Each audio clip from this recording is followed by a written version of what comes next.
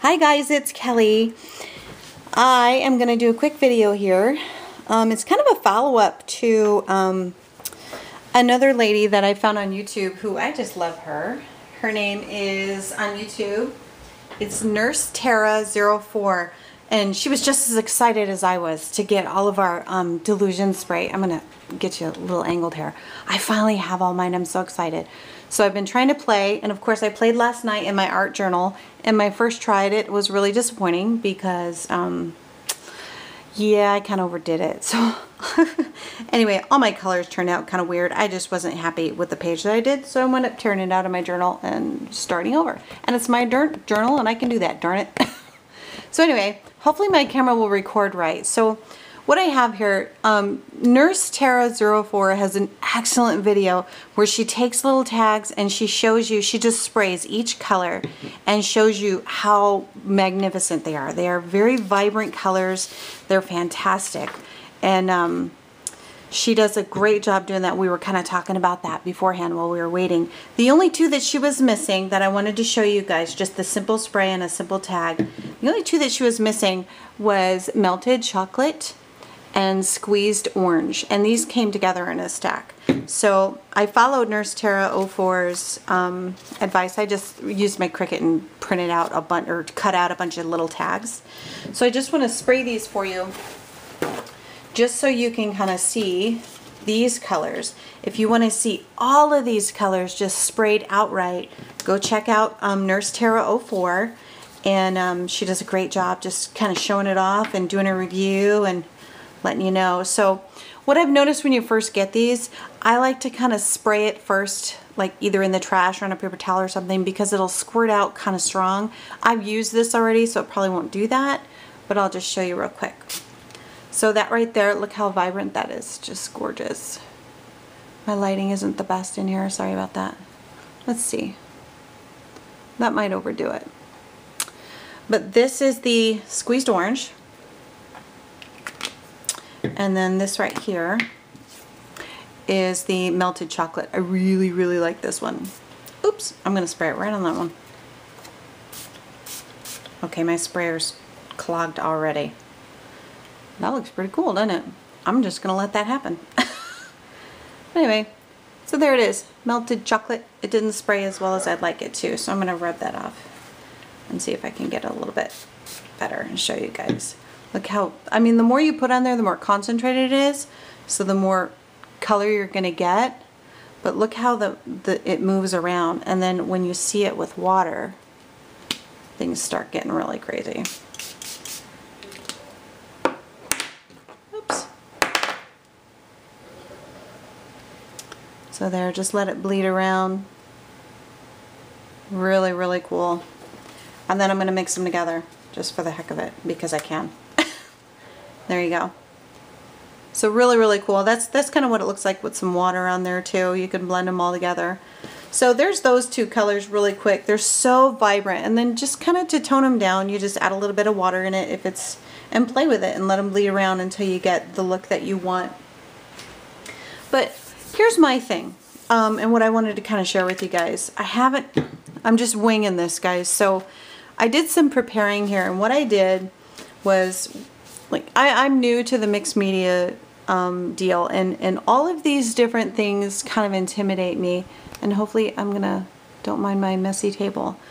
But between all of the different mediums that you can use, the modeling paste, the gesso, the matte medium, the Mod Podge, the clear gesso, and all these different things, how do all these inks interact with that? And how do they, does the color change? How does that work? So what I've done here is I used, this is a sheet of paper that's, it's actually already been treated, probably wasn't the best way, but it's already um, journaling paper. And what I did, hopefully you guys can see, is I put little different mediums on here. So this right here, this little area here is white gesso. This is matte medium. This is Mod Podge. It's the matte Mod Podge. I don't have any glossy finishes. I wish I did so I could show you, but um, this is clear gesso, just a little spot with clear gesso. I just put some acrylic paint on, and then this is modeling paste. You can probably see there's some dimension there. So I want to see how these inks are going to act on top of all these different mediums. And then I've also done some tags here to kind of show if we want to do different colors on them. Um, and they're kind of labeled with what I've treated them with. Just so we can kind of learn together how these inks are going to work, whether it's with water or without water, and how they're going to work on all these different mediums that when you're collaging and you're doing that kind of stuff, um, how they're going to act. So we'll just play with it and we'll see what happens. So, and what I want to kind of do, what I think would be real a good way to demonstrate it would be to use the same color across a couple of them and just to see how the how it how it's a little different. And I have all the colors. Um, what I don't have is her um, the white one that has the mixing ball in it. I want to get that because that can kind of turn these colors which are so vibrant, which I love, but sometimes you need a softer tone of the color. And she has this white opaque spray. And um, I'm sure it's like Tim Holtz, uh, what am I, what's the name of it? It's the white picket fence, I believe it is. I think it has that same type of um, interaction, but um, I saw Dyan Reaveley's um, video where she was showing the white and how it really kind of added a pastel tone and I really like that. So that will be my next thing that I want to get. But um, what I think I'll do, I think I'll use, um, I'm really liking the vibrant turquoise. So let's try that. We'll try that one first on here and we'll see what happens. So I'm going to lay this down just to catch some of it. And this time, I'm not going to put any water on it first. Normally, what I've like, what I found that I really like is to spray it first with water, just like Dyan does, and then that kind of gets the colors mixing together. But I don't want to do that when I'm doing um, these different type of mediums and um, like the gesso and the matte medium and that kind of stuff. I just want to see what it's going to do first. So I'm just going to spray it on there. And you can see how that's moving around, right? That is the white gesso with a little bit of texture on it. And you can see, let me move that a little closer, how it's moving around and it's, it's still coloring the gesso. And that's kind of what, you know, we kind of need to know. Is it going to color the gesso? Is it going to resist? What's it going to do? So that is a really, really cool. I really like that. So let's do the same one, Vibrant Turquoise, on matte medium. This little circle here is the matte medium. Very, very cool. Pretty much the same thing. I'll try some different colors on here now. Let's try like a yellow. Let's try lemon zest. And we'll try that. This is the Mod Podge, and it's matte Mod Podge, it's not gloss. I don't know if the gloss would be different. Maybe it would. Who knows? We'll just have to play and try and see what we think. I'm to blot this so I don't, well, maybe I won't because I'm to spray some water. Look at that yellow. That is nuts. That's crazy. Love it. But yeah, so this way we get to kind of see, like if I'm going to do some collaging and then I spray my ink on, after I put some medium on there, some Mod Podge, how is it going to interact? The Mod Podge is kind of resisting it though. It does take a little bit of the color, but hopefully I'm demonstrating that well. Hopefully you can see that it is, it does have more of a resist. Interesting. And then clear gesso. The clear gesso, obviously, I mean, you treat your paper with gesso so that it accepts this kind of stuff. So I know it's gonna, I know that it's gonna take that color, but to what degree is is the question? Because here's here's the comparison. Hopefully I'm not going too fast. So Mod Podge resists it mainly, okay? So you guys probably already know this, but I mean, if we're new to to the mixed media stuff, I mean, we gotta you just got to play. And sometimes it can get expensive to play. So clear gesso obviously soaks it in. But this is just plain paper, okay? It's not treated, it's not treated with gesso, it's just plain white cardstock. I'm going to put that on there. And it soaks it in and it's still just as gorgeous. But it does have a little different tendencies. It's a little lighter. It's a little less vibrant on there. So there's your comparison of the yellows. Hopefully my lighting is working out. So, hmm, interesting. Interesting how that works. let's do, let's do black. Let's do complete total contrast here. This is the, this little circle here is the modeling paste. So let's see what happens when I do that one. Modeling paste, just like the gesso, it's gonna soak that up real good. And then the paper around it that is that is still pre-treated. I really like that. That is very cool. And then paint. I mean, this is just blue because it's the first one I grabbed. But um, what color should I use? Let's use bubblegum pink because it's just fun to say bubblegum pink. And my question is, what does it do to the integrity of the original color that I have on there? And as you can see, hmm, makes it a little deeper, but interesting. So that's kind of how it's going to react, react with all these different the different mediums that are out there, and just plain paper, and how that's going to work. But now that we know that it does that, what I want to know is what happens when I add water and I want to start blending and mixing these colors. This is really kind of cool what's happening with the matte medium here because, okay, and look, the bubblegum pink is so not pink. It's so beyond pink. but can you guys see the little speckles of the spray of the bubblegum pink and the turquoise? It almost takes a neon effect. I'm hoping that you're seeing that. It almost looks neon when you mix those. And that's just straight on spraying it on. That's without watering it down. So let's see what happens. This is just plain water. Am I in? Yeah.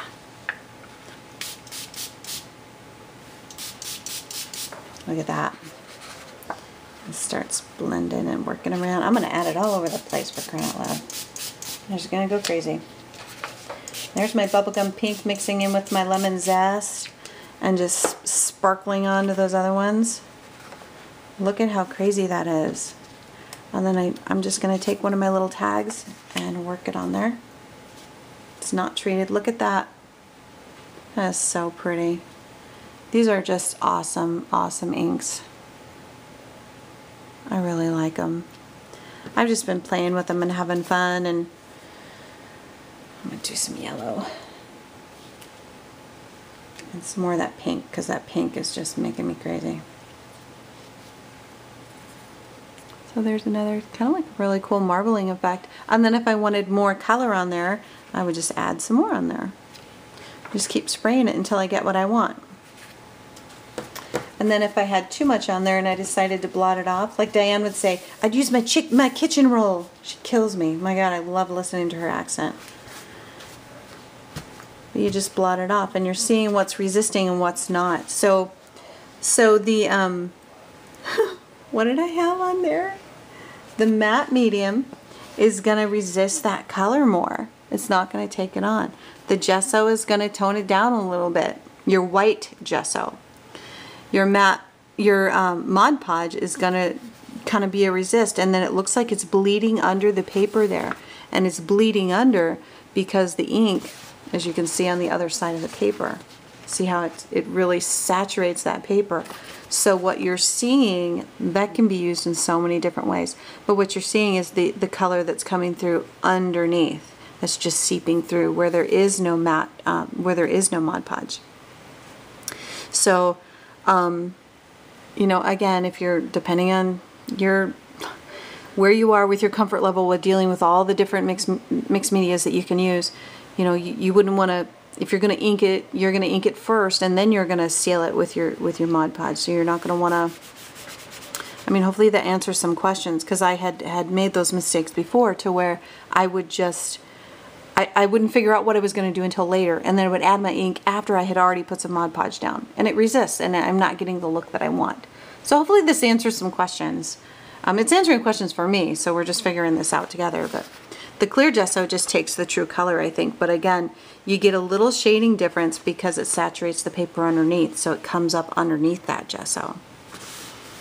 So, and then the acrylic paint, I think it still holds its color integrity. It might get a little richer depending on what colors you choose. But, um, and then the molding paste, that kind of doesn't keep the true color either. You know, it kind of takes the same as the white gesso. It kind of lightens it up a little bit. So, there we go. So hopefully that answers some questions. And this is some of the stuff that I used in case you guys aren't familiar with this stuff. This is just what I, you can get all different brands, but um, this is just the Liquitex modeling paste. And that's this black area, okay? And that's, you know, what you use for all the texture really rich texture. This is just white gesso by Liquitex and it's really really thick so it adds a lot again really nice texture for stenciling. The matte medium this is really good when you're doing your collaging. I like that. Mod Podge as everyone knows. And then this is the clear gesso and I really like the clear gesso um, for pretty obvious reasons but you know if I'm going to ink behind it um, I want those colors to show through. The white gesso is, is white, you know, it's going to cover everything up. This um, keeps my colors in the background true, so, but still um, will seal it up for me. So it depends on when you would want to use that, but this is not always the easiest to find in the local stores. So anyway, so there's the comparison on one sheet of paper. And then what I wanted to do too, hopefully I don't run out of time, and these are my cool little tags that I did. Let me get another paper towel here. But I have these pre-treated little tags, okay? This one has white gesso on it. And I have gesso up to this point, maybe you can see. I'm not sure. But there's white gesso here and then just plain paper here. So I'm going to do it with water first, okay? And this already has the white gesso on it. So I'm going to load it with some water first and then we'll use crushed grape you see how that crushed grape like spit out first? I don't like that. So when you first use them, you might, you know, you might not want that, but it's up to you. Now I'll just take another blank tag and just put it on there and soak that up. Because I'll use these little tags for something. I don't know what, but I will. Ooh, pretty. Now that is purple. You see the difference. Plain paper, no water. Paper with this is plain paper and this is the white gesso. So you do get some color variations. So maybe if you want a more pastel look, you can just mix it with the gesso or if you don't have the white like I want to get. So there's that. Modeling paste we already did. I want to see what happens with the paint when I add to the when I add water to the paint. I want to see what happens then. So, and let's use, let's use, hmm, let's use red. This is Post, Post Box Red. Mmm. You know, Nurse Tara 04 is right. It does. It looks just like blood. like fresh blood. Here, let's pull that back off. Oh, hello. I'm stuck.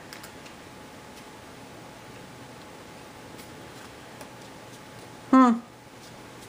Maybe I can look at that, what you get when you pull it off of the paper towel.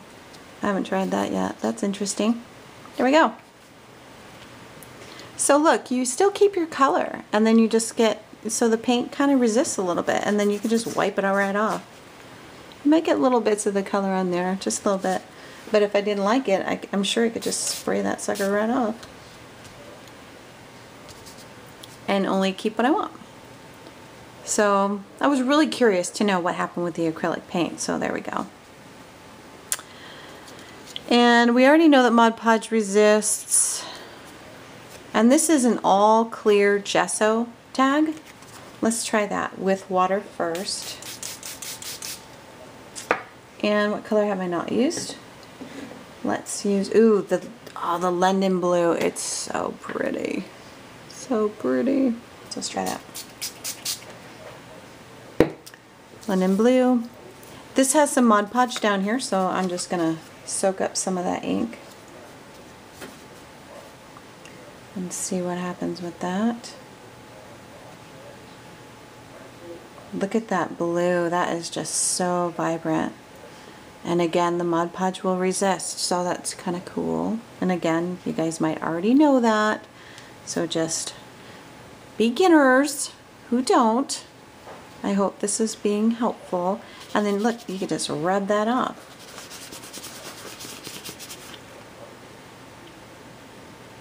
So that's the Mod Podge.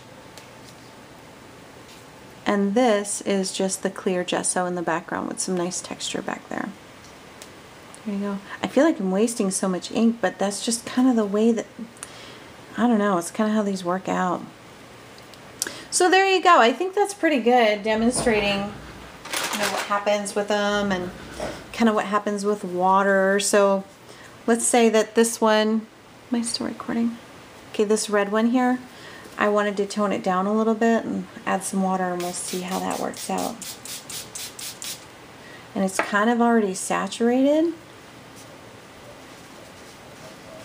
But it does, the water will bring down some of that color even after it's already dried. And this ink does dry a little faster than I anticipated. Not as quick as like an alcohol ink would, but that will tone that color down just by adding water.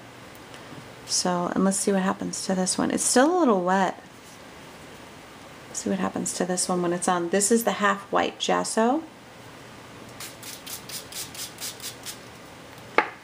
And the white gesso really takes that color, but look, it, it does, yeah, I like that effect. So, got lots of ideas for that.